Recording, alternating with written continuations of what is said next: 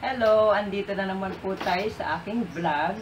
Ngayon, papakita ko naman sa inyo mga pwede nyo gamitin sa biology. So, ito po, kung makikita ninyo, ito po ang heart. Okay? So, ito po may lumang bowl, na plastic bowl. Ayan, makikita nyo dito, nagbabaklas na nga yung paint.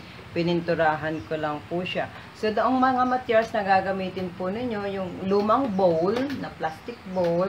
Tapos, ito po, hindi ko alam kung anong tawag. Nakita ko lang siya dun sa gamit ng asawa ko. Yung sa kuryente. Yung ibinabalot po ito sa wire para hindi makita dun sa dingding. Ano po, yan. Tapos, ito naman po, kinuha ko ito nung makonfine yung anak ko. Ayan, mga swero po yan. Nilagay ko lang dito sa aking. Kaya po yung mga patapon na bagay, tinatabi ko lang. Kaya ang daming kalat dito sa amin. Kasi baka sa mga susunod na ano, gagamitin ko pa siya. Tinatabi ko muna siya. Ano? So, ito po yung mga valve, mga artery at saka vein na nakakonekta sa ating lungs. Ayan, may aorta. So, pwede mo na yung isa-isahin sa mga bata. And then, ito po, yung lumang plastic folder, sliding folder.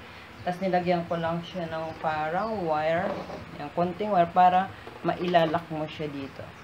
Yan, ganun. O, pag inopen mo po siya, so pag nakita ng mga bata, ito ang heart. Ito yung outside ah, na structure, itsura ng ating heart. So, pag binuksan mo siya, para mas maintindihan ng bata kung ano itsura na sa loob ng heart natin, so, bubuksan mo siya. So, may mga, may apat na compartment. Ayan, may dalo yan ng mga dugo. So, sa loob niyan, makikita ninyo, pakikita niyo sa mga bata, yung apat na color, ibig sabihin niyan yung mga compartment. So, diyan papasok yung mga dugo at saka lalabas. Ayan. Yan po yung mga valve. Ayan, ano po, kita, ito ang mga valve niya. Yan yung lulusutan ng ating mga dugo. Yan po. So, ayan. So, papunta dito. Okay po. Mas maintindihan ng mga bata kung ano itsura talaga ng heart. So, by recycling, ito po para ma-close open mo lang siyang ganyan. So, maliit na bisagra lang po siya. Lagyan ko siya nito.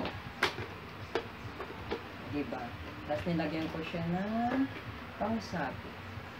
So, pag hindi ko po siya ginagamit, kung hindi nakatabi or in the future gagamitin ko the following day, pwede mo na siyang isabit dito sa ipinakita ko sa inyo galing sa rep. Pwede mo siyang isabit dito or if you like naman, pwede mo na siyang isabit. Pero para, para mas maganda, gamitan mo na lang siya ng ng pang-ipit ng damit. Oh, di ba? Okay. Ayan, after po nung heart natin na nakita kanina, ngayon naman po ay meron akong recycled na lungs. Okay, ito po, naka, yung ipinakita ko dito yung protection ng lungs natin, yung ating ribs. Ito po yung ribs. Ano po ang ginamit ko dito? Ano lang siya? Yung ah, parang 4 liters or 5 liters po ito ng mineral water. Ayan, tingnan nyo po ang itsura niya. Ikinat ko lang siya. Ayan. Hindi ko po tinanggal yung tangkay para may pansabit. And, at ganun din, meron din ako yung ah, panglagay sa kuryente, sa wire ng kuryente. Hindi ko po alam ang tawag. Pero basta nakita ko lang yan sa gamit ng asawa. So yan, gumamit po tayo ng sa loob ng syempre ng ating ribs, nandun ng ating lungs. Ayan, ayun, pinakita ko po. Ito kasi, ah, pinapakita dito, ah, dito papunta yung, ah, dito manggagaling yung oxygen. Papunta sa ibang bahagi ng lugar ng body. Na yan. Meron po tayong dalawang balloon dito. Ayan. Tsaka andun. Ayan. So, pag atin po itong uh, ano, in-stretch, makikita po natin yung paggalaw ng ating balloon or yung ating lung. Or lungs. O lung. Ayan. Okay. Kita nyo po. Ayan, ganyan ang nangyayari sa ating lungs pag tayo ay nag-inhale at nag-exhale. Ayan. Bahala na po kayong uh, mag-present nito sa mga bata kung paano nyo siya ma-represent na ito po ang gamit.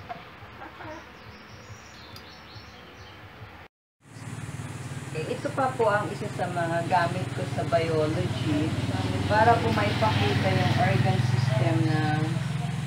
ating katawan. So, dito po kung if ever wala pong torso sa inyong paaralan na pwedeng gamitin, so ang ginawa ko po ay nag-recycle po ulit ako ng mat. Puzzle mat. Kung makikita niyo po, ayan o, puzzle mat. Yung nilalagay sa sahig. Ayan, pinagpatong ko po siya. Ayan. O, ito, maipapakita na natin dito.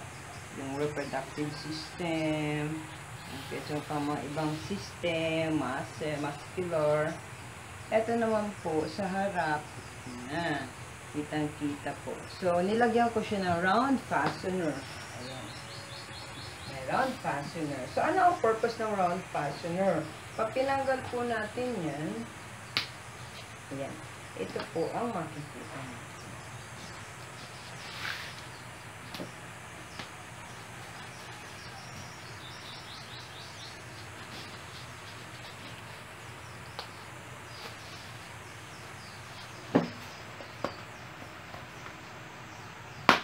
Okay. Yan po.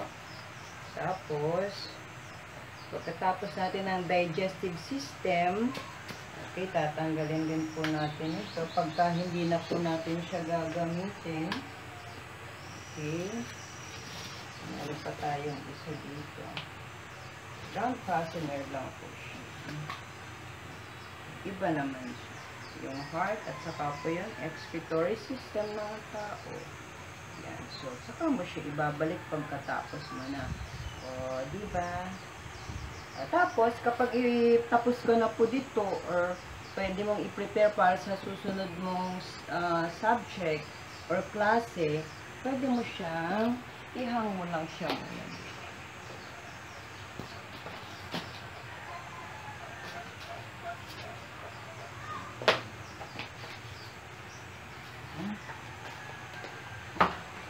And syempre, ang isa pa sa aking ginagamit ay ang skeletal system. Okay. So, may round fastener din po siya. Yan para namumove natin yung mga mga bahagi. Ayan po. Diba? Tumigis, tumigis na po dito.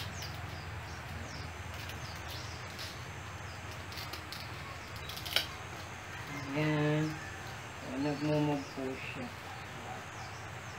Para po, pag itatago nyo na siya, pwede mo siyang ihang din po dito.